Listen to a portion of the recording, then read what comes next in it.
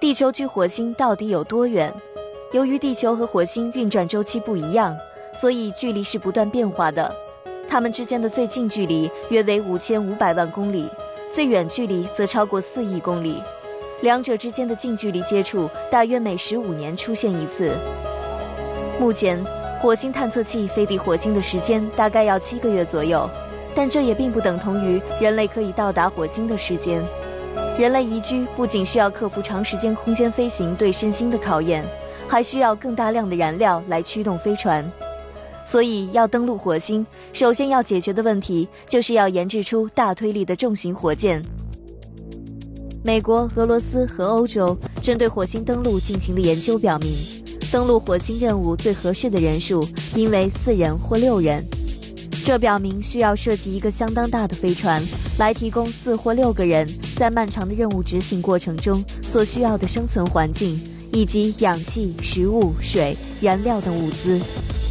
阿波罗载人登月飞船大约重五十吨，所以飞得更远、载人更多的载人火星飞船会更重。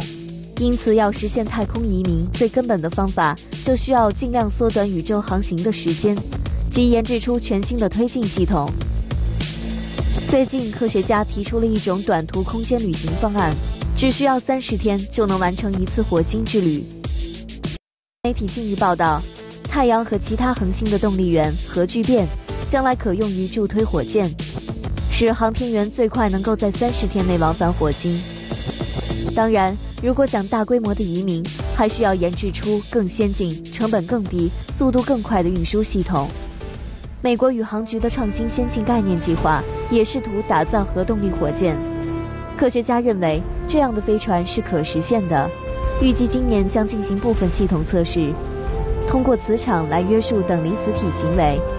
如果试验获得成功，最终将被应用到第一代星际航行的飞船上，足以满足我们对太阳系各个角落的探索任务。